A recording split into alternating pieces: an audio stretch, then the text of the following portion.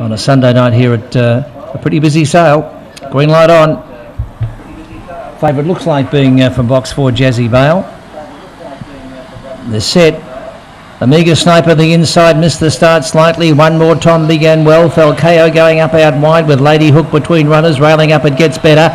Off, falling in the back there was uh, Jazzy Bale. Aston Zach was knocked out of the race, and it's a race in two.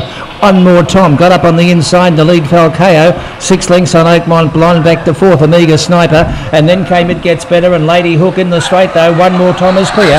By a length and a half fell KO. Five lengths away third in the race. Oakmont Blonde. A big gap Amiga Sniper in company with Lady Hook, and then came It Gets better. And uh, the one that fell has uh, followed the field in there. Uh, going down was Aston Zach, and the time coming up is 25.09.